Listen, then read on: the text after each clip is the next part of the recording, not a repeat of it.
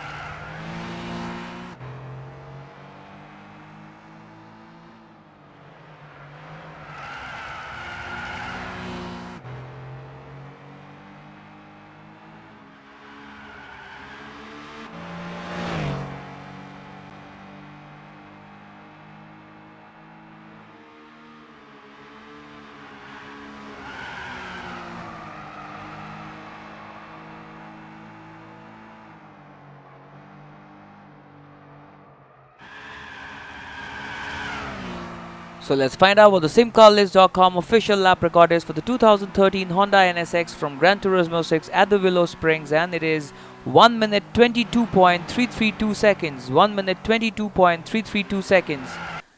If you like whatever little things that we're doing, please do subscribe to our YouTube channel. You can also visit simcarlist.com if you want to compare the lap times of different cars from different simulation games.